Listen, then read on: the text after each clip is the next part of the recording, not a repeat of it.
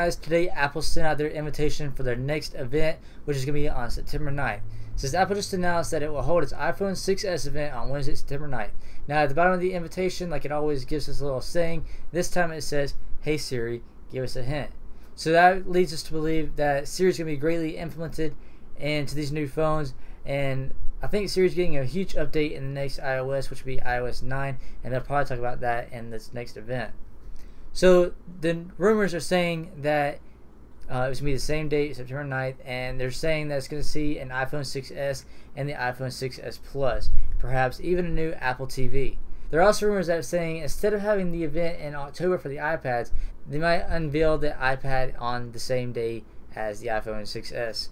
That may include an iPad Pro, an iPad Air 3, and an iPad Mini 4. Now, also, Apple is probably going to discuss iOS 9, the release date for that, and some new features and how it will work with the Force Touch, which is supposedly coming with these new iPhones.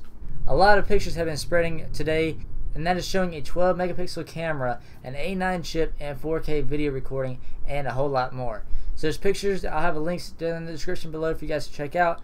I'll try to have a rumor wrap up before this event and then I'll definitely be covering the event. If I'm not at work, I'll come home and record the video as soon as I get it home and let you guys know what was released. So that's all I got for you guys right now. What do you guys think about the new iPhone 6s? Uh, do you think these rumors are going to be true?